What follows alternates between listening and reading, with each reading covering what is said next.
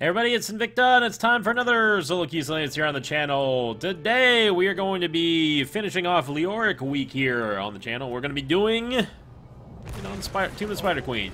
Almost Spider of the Tomb Queen, but that sounds equally as metal. On our team today, going to be Leoric, Kerrigan, Tychus, Nova, Jaina taking on Arthas, the Butcher, Nova, Leoric, and Tychus. Apparently it's a Tychus Nova free week, I guess? I don't know. But I figured what better way to end Leoric Week with a, I guess a a final build. I, I, I guess I'll call it a final build. Don't know. It, it's it's weird for me to, to say anything's final with Leoric because I'm still, even though we're wrapping it up here at the uh, at the end of his week of uh, celebrating the the week of, of his release, I still feel that. Uh, he, I still feel there's probably some unexplored areas that uh, that Leoric could possibly go as far as builds go. But I am going to be going for my standard, what is, I now call my standard build, uh, as I have been in, I have been enjoying this build a whole lot. So especially on a three lane map, I am going to be going for reanimation at level one. Reanimation is just my good old, uh, it's it's how I like to play, man. That's that's all I can say. I enjoy playing the health globe, uh, the health globe base specs. I think that everyone pretty much knows that. It's it's how I played Malfurion. It's how I played Arthas sometimes. How I played a Anub'arak, etc., etc. It's just it's a lot of fun, man. It really is. And uh, we're going to get a counter killed there by Nova and Arthas. So we end up trading a one for one there. We were able to kill uh, kill the butcher, but we were unfortunately not able to kill anyone else. And yeah, we're gonna have three people in mid. Already off to a crazy start here, but like I said, this is my this is the build that I have been favoring on uh, on Leoric. I think that he is man, oh man, this I I'm telling you, man, the drain hope the drain hope thing. I just don't know how to. I guess I just don't know how to use that move. Uh, I do enjoy the amount of the amount of health regen that uh, reanimation does give me. Uh, oh, Tychus, you done goofed there. Even if I don't even think if he got Nova, even if he didn't get Nova, uh, he was not going to be able to get out of there because I had Drain Hope ticking on him. He was right next to me. Apparently there's the Butcher there. I'm not sure if the Butcher knows that uh, I was there or not, but I certainly do not want to be fighting the Butcher while he's while he's got the Butcher's brand on me. I'm going to back up a little bit. Reanimation gives you so much passive healing, especially if you're able to stay on top of your stacks. As with Seasoned Marksman, what I go for is, is as far as like my, my whole Arbus Invicta arbitrary method of uh, can I, am, am I actually, am I actually doing a good job staying on top of stacks? Uh, benchmark will be, uh, I want to make sure that I have double the amount of stacks of the amount of time that has passed. So right now it should be at two stacks. Seeing actually at three stacks, not that big of a deal. And we are about to be supposedly at four stacks now. That's where I'm supposed to be anyway. I did see Nova. By the way, I was able to confirm that you can indeed get uh, get stealthies out of stealth. Outside of using the skeletal swing, you can also do it with Drain Hope, assuming that you know how to use the move. Unlike somebody who may or may not be talking on the microphone right now, am I right? Oh, Tychus, you done goofed. I'm going to go ahead and let Drain Hope finish on him. And we are going to get the batter up swing. See you later. More like bat batter up swing you later. So, always for level 3, or level 4 rather, I always end up going for the increased Drain Hope uh, heal. It just, it's provide, it provides so much of a heal, especially later on in the game, whenever you do have that combined with the amount of stacks, if you, assuming you've been able to keep up with the reanimation stacks, it's, it, it's a lot of fun. It, like, Leoric, as I said in the last video, Leoric really comes down to making sure you're able to keep up your uptime on a target, and that is where that's where he really shines, is consistent, constant damage. Because uh, again, if you can land the skeletal swing on uh, on your opponents, it does it does a pretty it does a pretty fair amount of damage per swing. His basic attack is also not really something to sneeze at. I'm gonna wait for my fountain here before I get right back in going after Tychus yet again. I also want to make sure that I get the regen globe, which I was able to do. Enemy team's probably turning in their gems right now. I should probably do the same after I'm done with the spider. I will say though, as we again as we come to the uh, to the end of Leoric week, I will say that I I like Leoric. I, I think that he's got room for improvement, especially especially depending on how you know how the meta shifts and that sort of thing. But I do feel that he's made more of an impact than Johanna did uh, when she was introduced. But I still, at, at, the end, at the end of the day, I think that the most impactful hero to have arrived since Heroes of the Storm has been released is definitely, bar none, easy. Going to be Kael'thas. Kael'thas has had more of an impact on the entire game and the meta than any other hero that I can think of. You probably feel differently, and if you do, I'm not going to hate you for it. Let me know in the comments down below if, how you feel about that certain, uh, that certain, not really argument, but that certain conversation. I always take Ossein Renewal here for the level 7 just because it does provide me so much damage and I can use it, or not damage rather, but so much healing and I can use it while I'm dead, which is going to reduce the amount of time that you spend as dead and that means that the faster you're back on the battlefield and able to do more damage and soak up XP, etc., etc. You know how it goes by now. Doing a fairly decent job keeping up with stacks here. I should be a little ahead, actually. The early death definitely is not helping us, but that's alright. Here we go. A lot of people are have been enjoying Leoric Week. I know that I've been enjoying playing him. Again, I don't know if he's ever... I don't know if he's ready to, e to even cross, like, the top three of my of my warrior choices, but he's close. He's close. Who are my top three warriors in the game right now? For me, for Sinvicta personally to play, I got to go ETC for number one. Yeah, I know. I used to don't. I used to not hate on ETC, but I used to not like him a whole lot.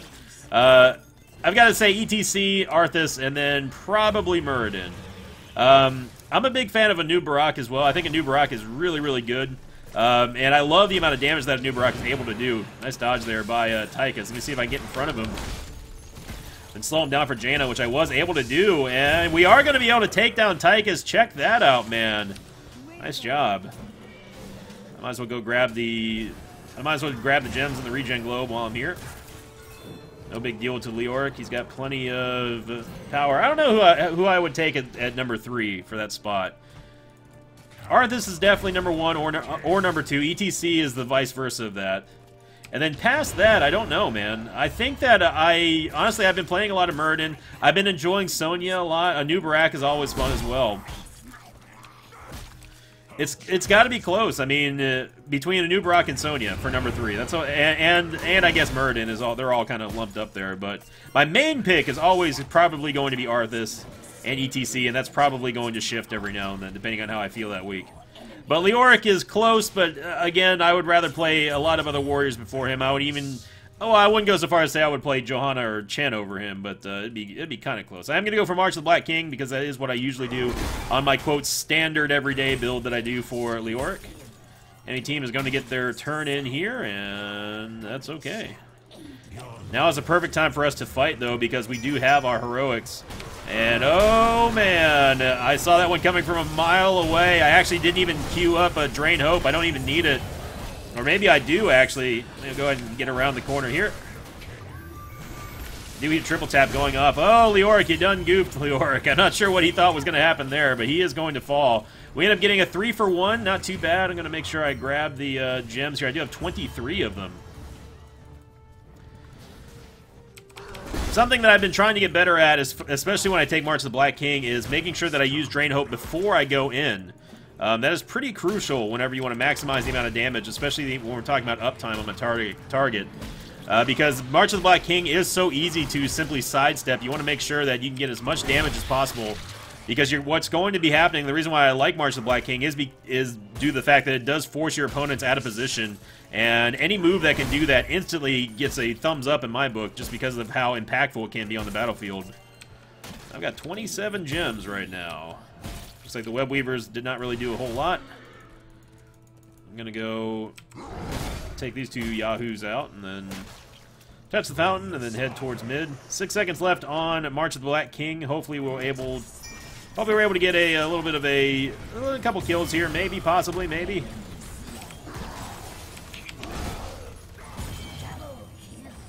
Got a couple kills. I have 31 gems to turn in, and you bet you I'm going to be turning it in. Jaina actually has 18 right now, so 49 gems in two turn-ins is pretty good. Oh, we actually get the turn-in. Someone else must have turned it in down the bottom.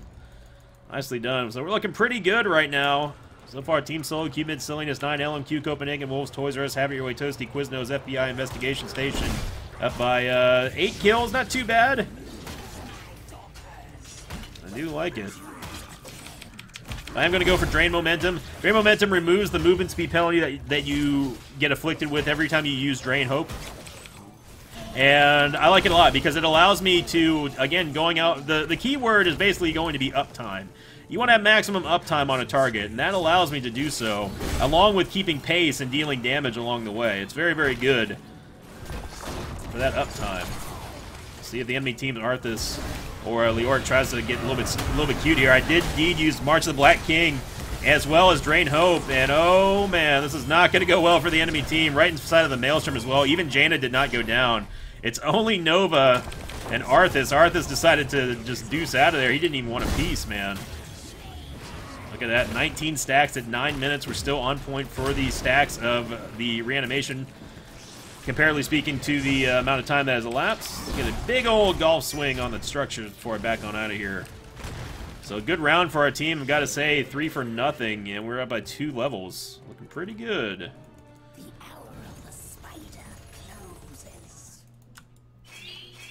Gonna go grab the Knight Camp while I can. Tychus should be able to take this down with me pretty easily. Even then, since I have, uh, since I did take reanimation, unlike that other game where I tried to take a Knight Camp and almost died, uh, even if I didn't have Tychus here, the reanimation, oh, I'll just, I guess I'll just show you all. Here's, this is what happens when you have 20 stacks. Watch Leoric's HP. Ignore it right now because that's from the regen globe. Okay, now watch this. That is as fast as Leoric regens whenever he picks up a regen globe. This is just passively remind, uh, let me remind you, be reminded by, and blinded by the light. Uh, yeah, thank you, thank you, Wraithwalk, for coming out after the fact that uh, I hit you. Let's see if I can save Nova right now. Actually, Nova doesn't need any saving. She don't need no man. She don't need no Skeleton King. Just gonna make sure I scare Tychus away. I know, I said that I wasn't gonna save no Novas, I know. Keep forgetting that. I'm, I'm too heroic. I'm too much of a team player. I can't help but try to save teammates who get jumped upon by two assassins diving a turret that or diving a fort that wasn't going to die anytime soon. Can't help myself. And the Drakken laser drill thrown out in the middle of the lane. I like it. Definitely like it.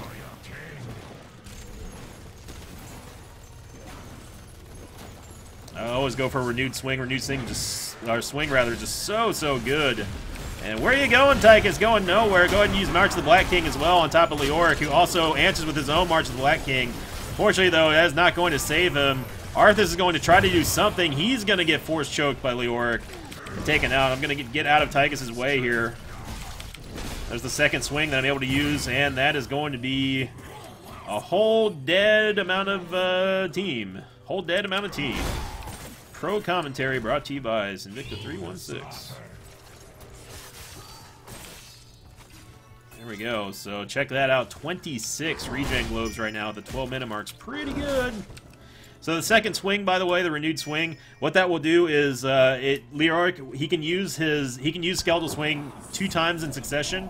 The second swing only does 50% damage, uh, but it's still it's still adequate, especially when you're using it on uh, mercenaries and uh, lane creep. Go ahead, step in here. Thank for Kerrigan. Look how fast I'm able to regen here. This is again without this is just this is just the passive healing that I get from reanimation. Which again, going back to the other video from the other day, is the reason why I say there's a pretty clear cut choice for the level 1 talent for Leoric, in my opinion. Some could go for the range, the extended range on Drain Hope, but for the most part, this is my easy pickings. This is the easy build. This is the only build that I see myself actually being viable like, and by the way, when I say myself, I mean this is the only build that I have had success with on Leoric, and it's the only build that I'll pretty much play if I'm actually trying. If I'm actually, if I'm actually trying to be somewhat successful. I'm gonna have it on back here, then we're gonna turn around. Actually, never mind. There's the, uh, there's the butcher. I'm just gonna use, I'm just gonna use March the Black Black King on the butcher. For some reason, Drain Hope didn't go down, but uh, the butcher did go down. We did lose two. It's only Nova who's left. I was able to save uh, Jaina there because she was about to get killed by the by the uh, Drakken laser drill. And we're just going to go for the skeleton swing. Just take out some structure damage, man. Right now, 27 to 12, looking pretty good. Take a look at our damage real quick. Number one on siege damage, no really surprise there. Hero damage, eh, I haven't really been doing that much direct fighting, to be quite honest. But that is okay. We're going to get another round of Web Weavers. I didn't realize we were that close. Let's go help out our middle fort here. We should be able to save it before it goes down. Well, unless Jaina doesn't come down here. That's going to be close. Alright, yeah, we are going to be able to save it. I even get the regen globe. Today is a good day. What a good way to start off a brand new week here. Thank you everybody who's been showing support for the channel. I do know that we've gotten a whole lot of new visitors and new subscribers on the channel, and I definitely appreciate it. I could not do it without you. I could not do it alone, and I certainly uh, would not have it any other way. You all help me do that. So I'm going to bait the Butcher and Arthas right into the Impale, and that's exactly what I wanted to happen. I didn't get time to motion to Kerrigan, but I'm glad that our Master Skin Kerrigan players saw what I was doing. I wanted to bait the Butcher back, running straight towards me, and then Kerrigan or Jaina was going to be able to slow them down or, or stun them, depending on which one hit first. That's exactly what happened, and uh, I'm not going to say I masterminded that plan, uh, but in a perfect scenario, that's what I that's what I was hoping would happen. Let's put it that way. They're already level 20. I am always going to be going for the uh, uh, Death March. Death March will apply Drain Hope to all targets that, are, that are in range whenever I use March of the Black King. It is an unbelievable amount of damage and healing. If you can use it correctly, man, I'm telling you, it does it does work on enemy teams. And this is the time... Uh, right now is the sweet spot for Leoric. Hopefully I'm able to actually use the uh, March of the Black King before this game is over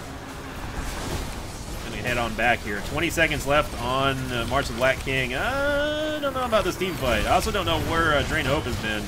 I guess it doesn't really matter because the enemy team is going to die anyway. Let's triple tap on Tychus. He should be able to live through that. Unless he gets nuked by the uh, by our Tychus, and yeah, it's going to be a quadra kill, and that is going to be the game. So, fortunately, I'm not going to be able to show you the uh, the Death March, but if you want to, check out the build. This is the build right here for yourself. It's a lot of fun. Take a screenshot. King Leoric, man, he is a beast whenever played with this spec, in my opinion, anyway. Final total is going to be 34 to 14. Number one on siege damage, number one on XP. Lots of fun, and number one in our hearts. Thank you for watching, everyone. Hope you enjoyed it. Hope you had a great start to your week. Like I said, I do appreciate all the new subs, and I'll see you next time for more Queues Silliness. Until then, so long, everybody!